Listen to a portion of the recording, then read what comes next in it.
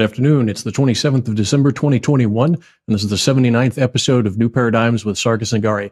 Obviously, I am not Sargis Sangari. I could never fill his shoes, but uh, for the next hour, uh, I will attempt to do as much as I can uh, to honor the NECSE and their mission to be able to educate and inform those about current events around the world.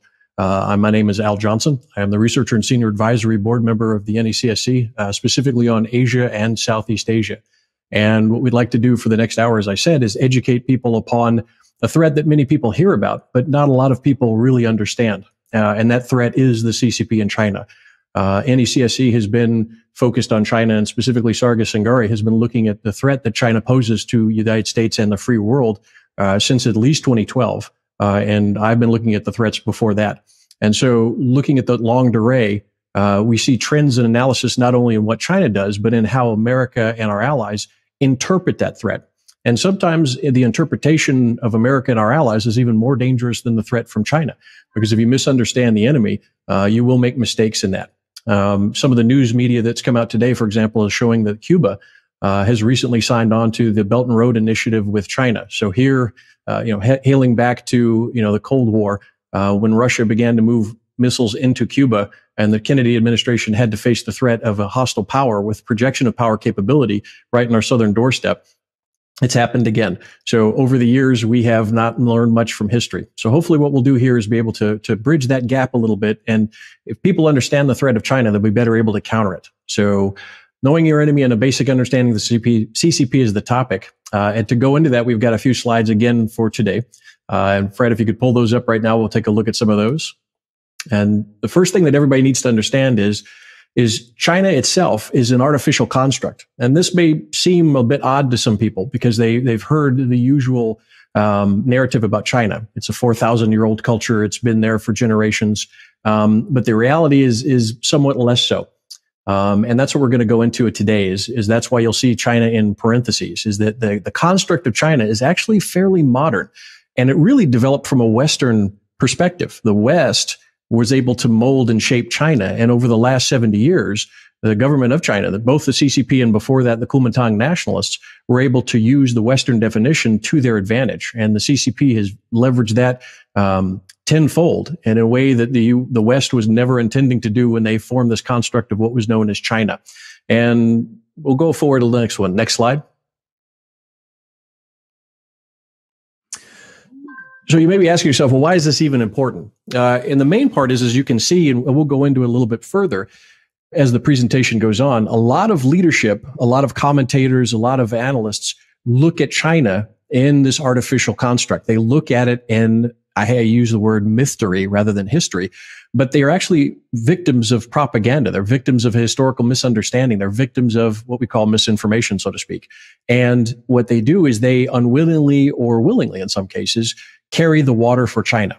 And by doing that, they are advancing the, the propaganda of China, even even uh, subconsciously they're doing it, and they're advancing the aims of China. The other thing they do is when they look at this this false history, they're not able to anticipate what are the next moves of China. Uh, and as everyone that's worked in, in any type of uh, any type of intelligence and any type of, uh, planning group of any type of uh, strategic think tank, you understand you must understand the reality of the adversary or even your allies. So understanding a correct view of China is absolutely important. Being able to understand what are your next moves uh, to counter that which China is doing. And so that's what we're going to look at. And you would be surprised, as we'll point out, there are actually some very, very smart people in the United States um, that are against China, but unwillingly carry the water for them because they have an incorrect view of what China actually is in the history of China. And that's why it's important. So yes, some of the themes that we talk about are 100 years old, maybe 200 years old. Um, however, it has a direct bearing on what happens today, tomorrow, and you know in the future. So very important. Next slide. And the way I usually preface this is, and this is important for people in the NECSE group to understand, is that the Ottoman Empire, um, a long time ago, you know, 100, 200 years ago, the Ottoman Empire was seen as the Muslim world. Uh, in fact, there were a few writers in the West that saw the Ottoman Empire as the the Muslim world, and that it was the end all be all of everything that was Muslim. And sometimes that would be synonymous with Arabic, even though the Turks were not. And you had sometimes they would actually count Iran into it, which was Persian. Um, but they had this kind of myth about what the Ottoman Empire was. And now through history, and thanks to to more learned individuals learning about the Near East and, and listening to voices from the Near East and listening to all the diversity that was from the Near East, and other folks that would that would look at it, for example, here is T.E. Lawrence, the famous Lawrence of Arabia, uh, were able to understand that the fragmentation of the Ottoman Empire wasn't one uh, nation. It wasn't speaking with one voice. It was simply an empire in the classical sense, like the Austro-Hungarian Empire, like the Russian Empire, uh, the Ottoman Empire was simply another empire, and it was made up of many disparate groups with many different histories, languages, cultures, and and it wasn't all Muslim. Uh, there were Assyrian Christians within this empire. There were Greek Christians. Uh, there were many different disparate groups, even within Islam, as we now know. There is Shia and Sunni. But 150, 200 years ago, not many would recognize that there were even schisms or differences within even just the Islamic religion. Um, but now we do know that.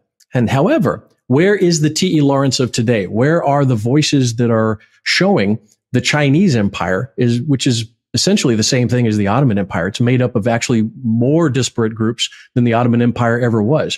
There are hundreds of languages. There are multitudinous nations in there. There are so many subgroups within China that it, it's, it's actually the Ottoman Empire almost times, you know, to second scale, third degree. Um, it have, it have a very diverse group within China uh, and we call it China, and we don't recognize it as a Chinese empire. It is a Han-centric kingdom, essentially, that grouped into a warlord faction known as the Kuomintang, redesigned the image of what a Chinese person was based on the Western idea of what China was, and then overthrew the Manchu Empire that was ruling all of China. And then they created their own empire in 1911. And that is the modern China.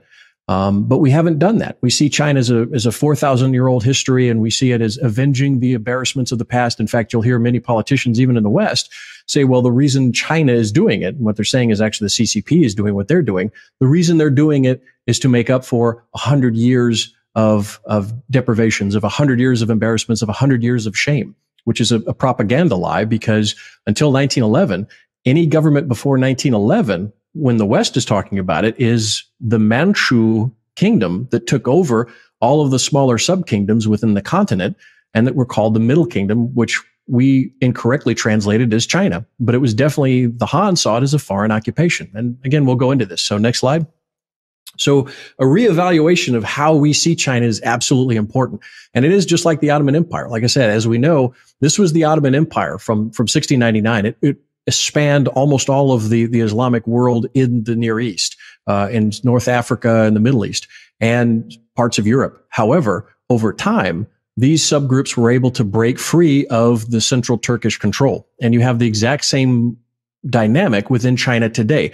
There are multitudes of nations that wish to break free from the, the yoke of Beijing's control.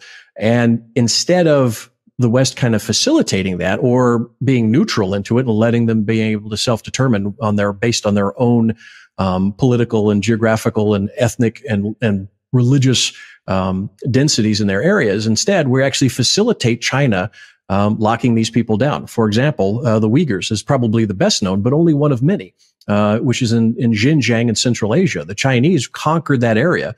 It was never part of the Han Empire. It was never part of the CCP's historical empire because they came out in 49, nor was it part of nationalist China in 1911. And yet we don't look at the history of China the same way we do now with the history of the Near East and the Middle East. And that is something that needs to be done and needs to be addressed uh, correctly. Now, the difficulty in that, of course, is that most institutions that do higher learning have paychecks that are uh, subsidized in part or in large part or in whole by the Chinese Communist Party through various means. So it is very difficult to be able to tackle this from an academic viewpoint because the subsidies that come in, they don't want to bite the hand that feeds them. Um, and so they tend to toe the party line as far as this kind of fabricated history that goes throughout. The other part is, is that China will simply cut you off from looking at archives, which are in continental China. Um, and a lot of people don't realize you can go to Taipei, Taiwan, get those archives and look at it, which is, of course, a separate country. But even then, Taipei has its own nationalistic bent toward changing the narrative of what China is, making it a longer area so that they claim geographic control of what they really don't have. So it makes it very difficult. So Americans and other Westerners and other people in the free world have to look at China and be um, somewhat brave in that you have to honestly look at these things and recognize that it's not going to come from academic institutions. It really does need to come from perhaps political science think tanks um, that you know are independent of the Chinese money or independent of Chinese political pressure to be able to do that. And again, the stakes are high because national policy is based upon what we think the Chinese are, what we think they're going to do based on their past performance and their history. Um, next slide.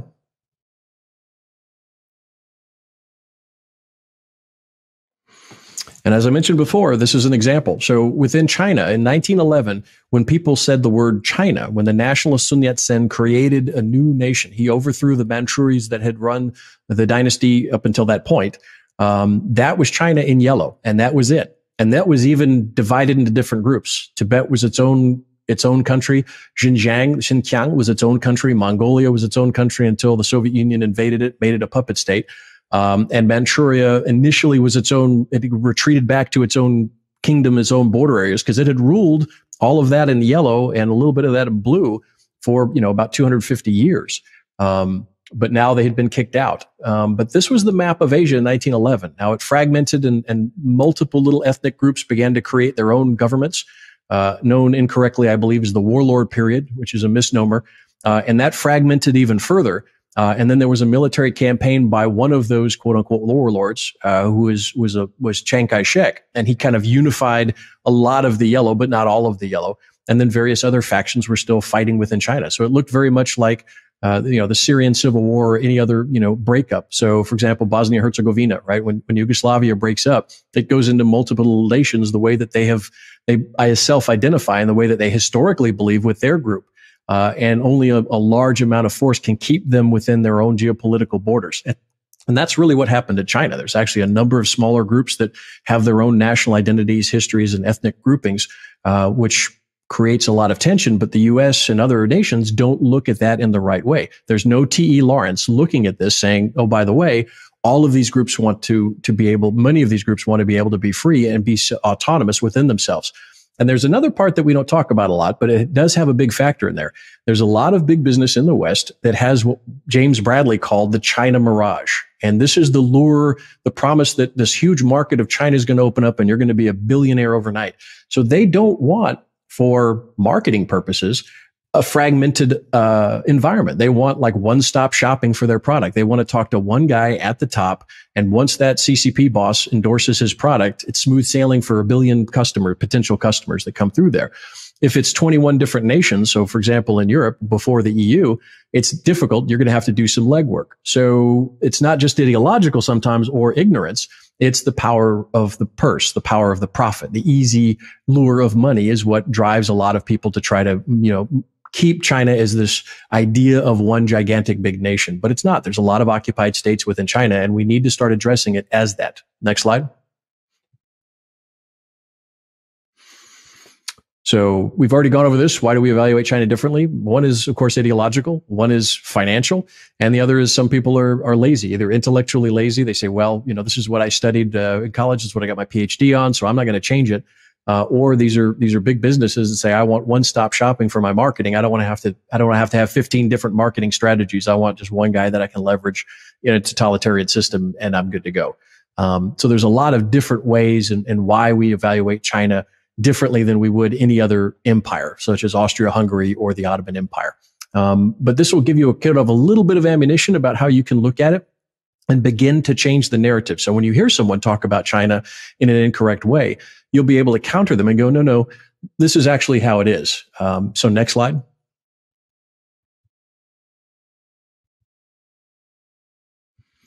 And one of the really good books is uh, by Gregory Lee, and I would highly recommend it. In fact, I'll, I'll show you. here's a good example. So a lot of a lot of good notes in this one, and you can always tell the books that I like because they'll have a lot of good notes within it. And Gregory Lee wrote this fantastic book about China. It's called China Imagined. And Gregory Lee is, is he's, he's an ethnic Han, um, but he saw his father, who was an immigrant who had left China before the nationalists took over. And he watched his father and, and studied him about how he came about identifying over time as Chinese, but he had never identified as Chinese before. And that was due to, in the 1920s and 30s and 40s, a massive amount of propaganda. And then the CCP took it up late 1940s and 50s and promoted it not just in the continent, but for what they call the diaspora. So the people from continental Asia that had used the, the Sinic writing, they suddenly became Chinese and it was an evolution. But as Gregory Lee points out, it says that on the contrary, China can be seen as having been created. Its national identity was forged during the 20th century.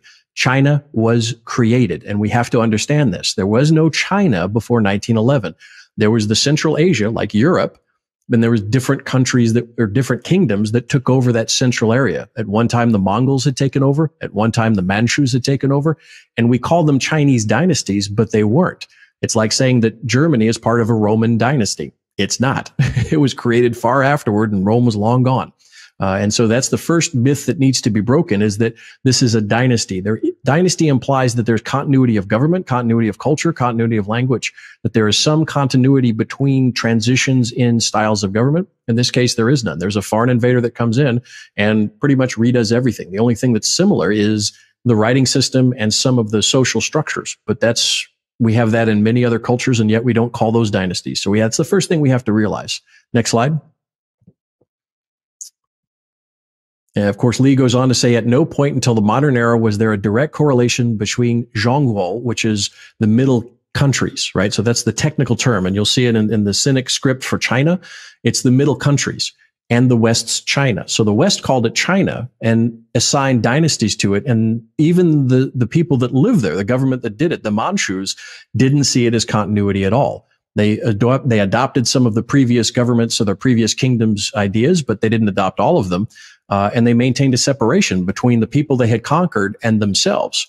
Uh, and so that's another thing that we have to understand is that the word China actually comes simply from a geographic area like Europe or Africa or the Middle East or the Near East. Uh, it's not a country, it's a geographical area. And it has been co-opted in the 20th century and especially the 21st century to denote a, a, a a national government or a nation that has existed for 4,000 years in one form or another with different dynasties. And that's just not true. Uh, next slide. Uh, and as he points out again, all the rest is invention, reinvention, anachronistic projection back to a past, a, a, modern version of history that serves the present. And it does serve the present. And again, these myths will be very hard to break because they serve a political purpose today. Um, when China makes a claim to, for example, Tibet, when it makes a claim to Xinjiang, the Uyghurs, when it makes a claim to parts of, of Mongolia that it has, when it makes a claim to Manchuria, uh, when it makes a claim to Taiwan, um, what they're doing is they're reaching back into this mythical past and they say that we are inheritors to this.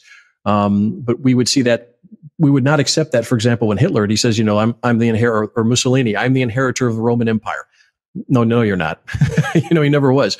Uh, Xi Jinping is in no way inheritor to anything that happened before 1947. Um, from 1947 onward is what the CCP can claim. From 1947 to 1911 is perhaps what Taiwan, the government that's on Taiwan, if it's Kuomintang, can claim. But before 1911, that's that's Manchurian. That's a different kingdom that's unfortunately long gone.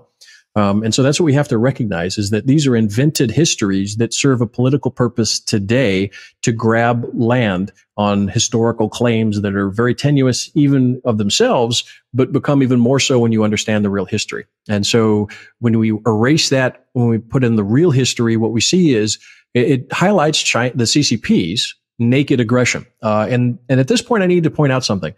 Even the word China, when we say the China or the Chinese people, we're really not talking about the Chinese people. There is nothing as the Chinese people. This was invented, as you'll see Gregory Lee goes through with his father and with his other relatives and, and the people around them in the early 20th century. They created this identity because they saw this new thing called China and they wanted to be associated with it in their disparate groups overseas uh, in mostly Western countries and it made them feel powerful. It made them feel part of a big group. Um, but the China that we look at today is essentially the CCP. It's not a Chinese people. It is the CCP. Uh, in fact, there's no better illustration of that than um, there's a great book by the Hoover Institution when they used to do some really good research about it. And I would highly recommend going to the, the Hoover Institution and they translated literally um, all of the documents, usually from every year that the Chinese army wrote and so this is these are all the, the, the, books from one year of the politics of the Chinese Red Army. And whereas in the American Army, uh, that, that both Sargis and I served in, we would write about readiness levels and, and how, how able we were to do our combat mission, right? How much equipment I had, how much training I had, and, and do our combat mission in support of the Constitution, which is a, a, contract with the American people and the American government. And that's what we would focus on in the military. But we, essentially, we were for the American military, we're the U.S. military. Uh, the Red Army is not a Chinese army. It is a political army. It is the Chinese Communist Party's army. So what you will see very quickly in this book, uh, all throughout, is that they are simply reinforcing politics, that they reinforce the Chinese Communist Party. And if the Chinese people get in the way of that, well, then they are the enemy. Uh, and this was illustrated, of course, you know, wide open in Tiananmen Square um, when the Chinese people said, you know, we don't want this this politics to continue going this way, and suddenly the Chinese people overnight become an enemy. That's the a lesson of the danger of politicizing a military. Um, is that you know you're not a national army; you're simply a tool of one political party uh, that's used against the people. So when you say the Chinese people, no, you're talking about the CCP, the Chinese Communist Party, which has its own army. The Chinese people, they have no army, even though it's called the People's Army. What they write about is not for the people. They're writing about they're serving the party. So keep that in mind when you're when you hear someone saying, "I respect the Chinese people. I respect this." which Chinese person? Which which group are you talking about? You know, Maoists, Hmongs, Mongolians, Manchurians. You know, Uyghurs. You know, which one exactly? Uh, and you know, is it the people or is it the party? Uh, and you need to you need to really get the person to specify: Are you supporting the people and, and the disparate people that are there? Have them identify it, and then identify: Are you supporting the party, which is the government, which is the official, uh, you know, uh, broadcasting of what we call Chinese um, desires and dreams and, and political machinations. Next slide. Now, uh, again, if there's any further proof, another final book that I would recommend is the is the Kuomintang Selected Historical Documents, and this talks about, and this is from most of these are actually from Sun Yat Sen, the the George Washington of of China is what he was called, um, but he's the one that pretty much led ideologically led the revolution against the Manchu Empire or the the Manchu rulers that were over the Han Chinese and all the other groups at the time. Um, and you'll notice in his writing, he's all about the foreign invader. And who's the foreign invader? It's not Japan. It's not the British. It's not Americans. It's not Portuguese or the other nine Western nations that had taken, you know, parts of the Middle Kingdom. It was the Manchus. The Manchus were the foreign invader as he saw them. And once he overthrew them, once he, once the revolution was successful and the Manchu empire uh, went away and he had to set up a republic, um, he faced a problem is because all of these other disparate nations, these disparate groups that the Manchu had conquered, didn't want to be part of a central government. Some of them didn't, some of them did.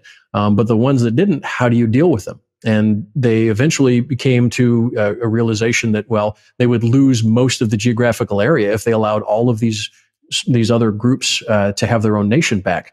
And so the nationalist Chinese began to conquer and began to to militarily bring them into the fold. And then China divided up and went into a civil war for the next uh, 10 to 15 years. And it really didn't end until 1947 when the issue was decided between the nationalists, the Kuomintang, and the communists that were supported by the Russians. So um, that's another thing that we need to keep in mind is that this is again a very new construct, and even the the so-called Chinese revolutionaries that won 1911 didn't see themselves as Chinese. The people before 1911 that were running China was actually uh, a, a, foreign invader that was occupying China. So when, when a Western person will tell you that there's a hundred years of shame or a hundred years of, of, you know, debasement that the Chinese have gone through, that they're only now, you know, getting revenge for, they're setting the, the ledger straight it's not true because before 1911, they didn't care because when the West would take away bits of what we call China, they were taking away bits of a Manchu empire, a foreign occupying empire. They really didn't care. That's why many Chinese armies didn't fight very well um, against those foreigners because they actually saw a joint cause. They thought it was fighting a foreign invader, not fighting a Chinese people. So next slide. And what we already talked about. So again, just realize that that the formation of this idea of China is something in the 20th century that was created based on a Western construct uh, that they use for nationalistic purposes and expansionistic purposes. So, next slide. Now, why is this important? Now, this is going to surprise a lot of people, and this may be somewhat somewhat uh, of an eye opener for people, but it's important. Now, this is actually a, a fairly good book. Uh, it's by Newt Gingrich, who is by no means a friend of China now. Um, Newt Gingrich actually came to the realization that China is the biggest threat against the United States, and rightfully so. And I actually would recommend this book uh, to anybody. It's somewhat dated because it's Trump versus China, and we're now we're now in a new new administration. Um, but in his book, he points out um, a lot of the inherent um, competition and struggle between America and the CCP. So again, he uses the term China. I would say the CCP, Trump versus the CCP, or America versus the CCP.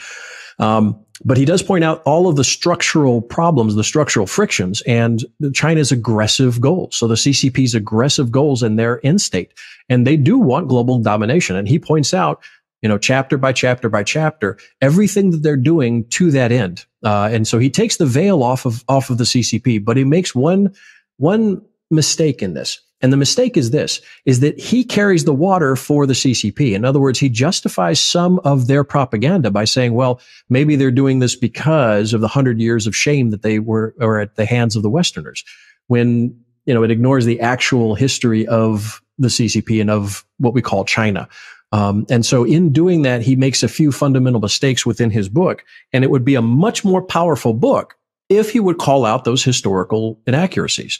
So in other words, rather than carrying water for the CCP and making it difficult and, and creating some sympathies because Americans love an underdog. Let's, let's admit it. We love an underdog. We love the, the nation that gets beat up and rises back up again and can fight it, right? The Rocky story of a nation, right? And so that's what China has kind of written into its false history. They're the Rocky nation.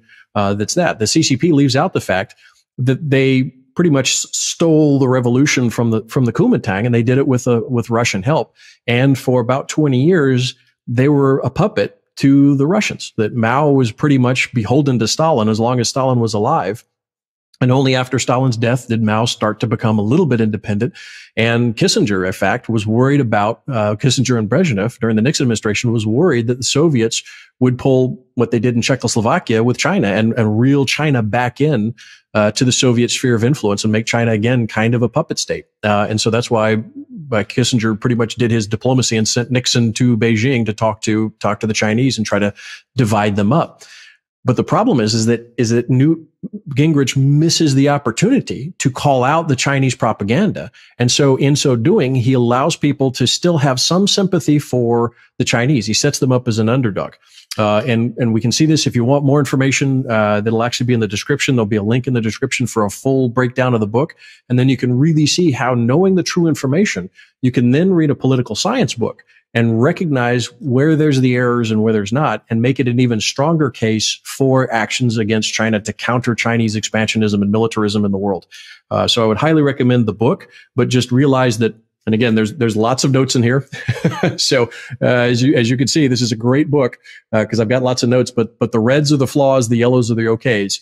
Um, but about chapter nine, you're going to see where that knowledge of true history comes into it, and and where Gingrich kind of unfortunately falls into the trap of carrying water for the Chinese. But when you're armed with it, it makes it a much stronger book. And then it makes his, his plans and his recommendations for how to counter China even stronger uh, if you have that information. So this is how this information is able to be used in political science here. Uh, and for more information on all of this, if you want, there's a little barcode at the bottom. You're going to see that little that little code. Uh, if you hold your phone up to that and and you take a picture of it, it'll lead you over to the Near East Center for Strategic Engagement. Uh, that, of course, is Sargis Sangari. Uh, he's the, he's the CEO there and has built up an, a, a very very vibrant organization for being able to do these types of in-depth analysis. Uh, and then not only that, but provide the answers for, you know, okay, well, where do we go from here and what is this knowledge good for? Uh, and so we'll be putting more links there. We'll be putting some more deep dives into this. Uh, but again, just follow that link below to the website for the Near East Center for Strategic Engagement for some more information. Uh, we're limited here in what we can present, um, but over there in that website, we're not. So next slide. Uh, and again, one of the big ones that we're facing right now, as you've seen in the in the um, news, probably you know more so than last year, is that Taiwan, and they say the one China policy with Taiwan, as if it some at some point had been part of China and broke away because of 1947 to 1949, the results of the revolution or the results of the infighting, the civil war between the the Chinese communists and the Chinese nationalists.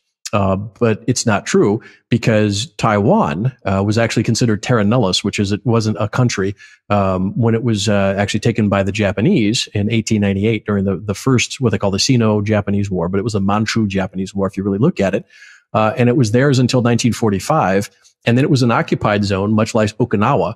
Uh, and the Kuomintang, the Chinese nationalists with Chiang Kai-shek, that was their occupation zone. So they were administering the occupation of the island of Taiwan. Now, they got kicked off the mainland because the the, the Chinese communists uh, got massive amounts of help from the Russians in Manchuria uh, and who the Russians armed them. The Russians gave them equipment. The Russians gave them advisors. The Russians pretty much lit a fire under Mao Zedong to, to go and do this massive counterattack. At the same time, the U.S. pulled our support for the nationalists. And so the Chinese communists beat the nationalists. The nationalists set up a government in exile on Taiwan and then established their own government. And then through pretty much diplomatic entropy, uh, Taiwan became a Kuomintang uh, government, but it became its own democratic government. So through this long process over the decades, under all international agreement, all, all international standards, the democratic process has been applied to Taiwan and they vote themselves a democracy. In fact, the Kuomintang government, uh, his political party, um, was voted out of the majority recently uh, in favor of a, a, much more independent Taiwanese government uh, with, with Prime Minister Ma right now. Um, and so you know, this is a country, this is its own country. And yet, even to say one China policy is the same as saying back in 1930s, Ein Volk, ein Reich, you know, ein Führer. Uh, you know, Lebensraum is a thing. It's not. You know, in other words, you're promoting a Chinese propaganda lie that Taiwan was ever part of the CCP, that it ever belongs with the mainland. It is a completely separate island. It is a completely separate nation. It's a completely separate people. There's some refugees there from the mainland that were the that were the the nationalist refugees, but there were indigenous Taiwanese that were there. There's a lot of Japanese, ethnic Japanese that remained on the island afterward, and they're still there. Um, and so, you know, this this one China thing is very bad, and and this manifests itself in U.S. policy. Unfortunately, when we when we say we support a one China policy, um, and we we say well Taiwan needs to be part of it, that's, that's absolutely historically incorrect. And even under international laws and standards, you take the history out of it. They've self-determined uh, themselves under the self-determination principles ensconced in the UN, by the way, um, that they're an independent nation. Um, and the the John Cena video was was a great example of how Americans are kind of ignorant about the whole thing, and they make themselves look like fools on there. So if we could show that that John Cena video, you know, big but but not too bright. Um, we'll play that video right now so you can see just you know exactly how far this misinformation permeates itself into the American culture and former pro wrestler John Cena has touched off an international controversy. Cena apologized to the people of China after calling Taiwan a country during a promotional interview with a Taiwanese broadcaster. Taiwan is a country. I mean, it, it's, it's an independent country. John Cena is not alone in Hollywood in toeing that line. 我必须说，现在就是很很很很很重要。我爱更尊重中国，更中国人。A Late Show has acquired the full so, apology. To be very clear, when when John Cena said that he respects the Chinese people and the Chinese uh, uh, the China and the Chinese people, he's not. What he's saying is, I respect the CCP party because if he understood it, there's no China in Taiwan. Taiwan or Taiwanese, they're separate. They're not, it's not the same. It's a construct. The CCP is who he's kowtowing to. The CCP is the one that he's apologizing to. A brutal political party that's, you know, essentially you could say it's, it's neo-Nazi now because they're very Han centric and they don't like ethnic minorities and they, they have massacred and done genocide against ethnic minorities in the continent. Um, so John Cena literally is the kind of guy that back in the 30s would be apologizing for saying that, oh no, you know, we, you know, how dare I say Poland is an independent nation? How dare I say that, you know, Russia's an independent nation, doesn't need to be part of, of Germany. Um, and then fortunately, that's the level of misinformation that goes through that you have a guy that, that should know better because he speaks, you know, he, he's able to speak Mandarin. He's able to speak a little bit of Cantonese. And yet he doesn't know the history of it. He doesn't understand the actual history of it. He's never read the Kuomintang papers. He doesn't understand Sun Yat-sen. He doesn't understand the history of Taiwan. He doesn't understand what was going on. And so that's the danger in not knowing it is that you fall into these traps. And he may not support um, the CCP, but his apology definitely does. Now, he probably did it for economic reasons. Um, but if he did know the truth, it's another question. Would you really, would you have that same apology or would you phrase that apology in that same way? Hopefully not. Hopefully he is a good person inside and he recognize, you know, he may recognize when he sees the truth, if it's presented to him, um, that that was a, a huge mistake that he made on both a logical and a moral, moral scale. So next slide. Uh, and then wrapping up here, as I always say, organizational structure dictates the outcome. So in this uh, case, what you're doing is you're organizing information. You're organizing how you are able to see the world. And when you do that, when you have this right information, you organize it in the right way. You remove the what I, the Chinese mythtory and you replace it with a factual history. And in so doing, you can dispel yourself of the China mirage and come about with actual solutions. Because if you don't, it's very dangerous. Um, so reorganizing your structure and how you see the CCP, which is promoting itself as quote unquote China, and how you see the history of it and understanding that this is an Ottoman Empire. This is an Austro-Hungarian Empire. This is a, a renewed German Reich that's trying to, to, you know, move out across the entire world. It will help you make better decisions and evaluate the threats um, going forward. So that's what I'm talking about. Organizational structure sometimes is in the mind, and that's what we need to do is reorganize how we structurally process this information in our mind so that we can actually see a clear picture with clear eyes uh, and give some some viable solutions that are based in reality and not in fantasy. So next slide. And again, hopefully this was of, of use. Again, if you want more information, uh, there's the, the barcode. You can you can go to the links on the Near East Center for Strategic Engagement. There's also a deeper dive into um, uh, Newt Gingrich's book and a couple of other books dealing with this on the the History DA website that I, I run on the side, historyda.org. Um, the links will be in the description uh, for the video below. And uh, my my hope is that you would look at these books and then you would educate yourselves more. So go on the NECSE website uh, do some more deep dives, uh, challenge everything I've said, uh, you know, prove me wrong, you know, bring up your information.